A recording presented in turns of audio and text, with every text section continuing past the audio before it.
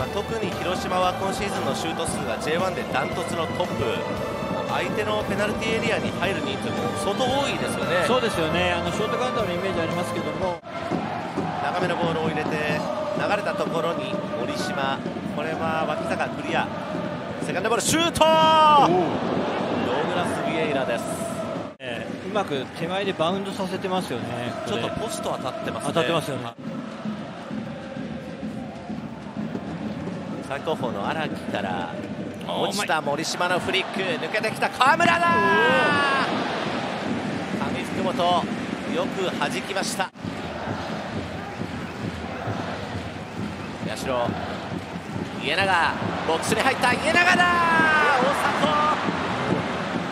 こぼれ球大島残した大島。家長はフリーになった脇坂かわす、ダブルタッチでうまく剥がしました脇坂。そしてまた家長。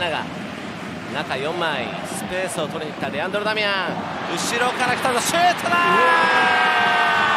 バースデーゴール脇坂!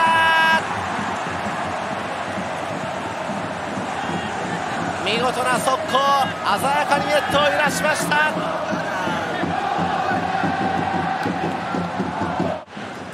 でできたスペースに脇坂が入ってきているという。素晴らしい。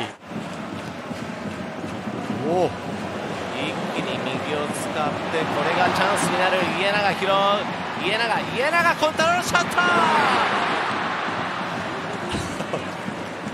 大の字家長。このボールは山根がうまく処理をしました。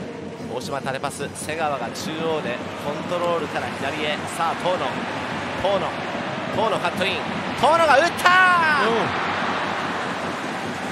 大迫よく。ドグラス・ビエイラ中入れた。東が競る。ベンカリファベンカリファまだあります。もう一度折り返し。ヘディング。上福本おっと。最後の笛が鳴りました1対0ホーム轟で川崎フロンターレ勝利です。